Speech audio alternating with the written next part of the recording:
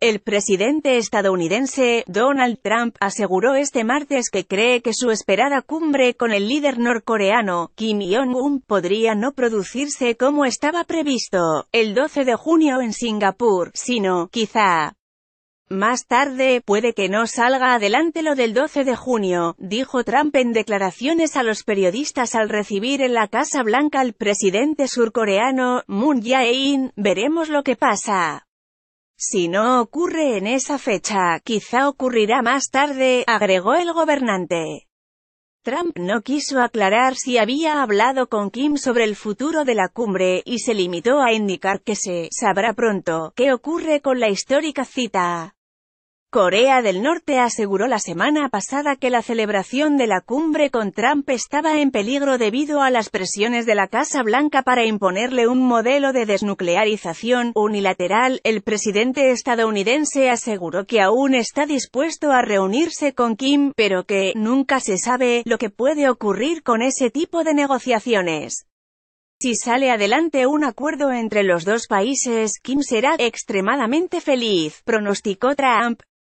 El pasado jueves, Trump dio dos opciones al líder norcoreano, si llega a un acuerdo sobre desnuclearización con Estados Unidos, se garantizará su permanencia en el poder, pero si no lo hace, podría sufrir el mismo destino que el líder libio Muammar al-Gaddafi, que murió en 2011 tras ser derrocado con ayuda de la OTAN. Trump insinuó que Moon podría volver a reunirse con Kim tras su histórico encuentro del pasado 27 de abril, y dijo que si las negociaciones salen adelante, Corea del Sur, China y Japón estarán dispuestos a ayudar, para hacer que Corea del Norte sea grande. Ahora vemos dos Coreas. Quizá en el futuro volverán a una Corea, subrayó Trump. También insistió en que la reciente visita de Kim a podría haberle hecho cambiar de opinión sobre sus negociaciones con Estados Unidos, al asegurar que hubo una diferencia en el cuando volvió de ese segundo viaje al gigante asiático.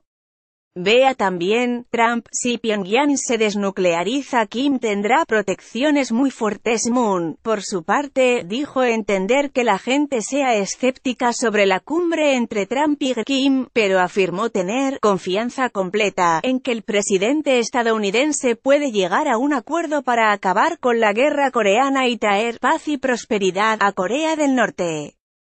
El presidente estadounidense y el mandatario de Corea del Sur iniciaron el martes una serie de reuniones para coordinar una inminente cumbre entre el presidente estadounidense, Donald Trump, y el líder norcoreano, el presidente surcoreano Moon Jae-in llegó este martes a la Casa Blanca.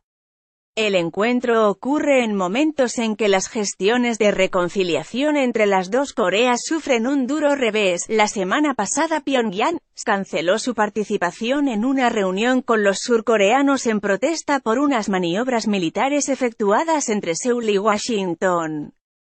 El líder norcoreano además en ese momento amenazó con cancelar la cumbre con Trump en protesta por la insistencia estadounidense en que las fuerzas norcoreanas deben abandonar totalmente sus armas nucleares.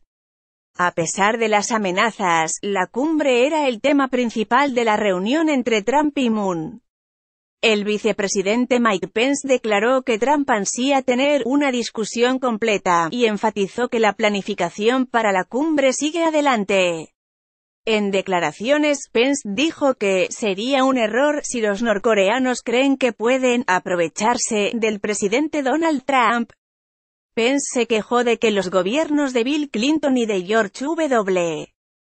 Bush fueron engañados por el gobierno norcoreano, en ese momento les ofrecimos concesiones al régimen norcoreano a cambio de promesas de que pondrían fin a su programa nuclear, pero ellos violaron esas promesas, dijo Pence.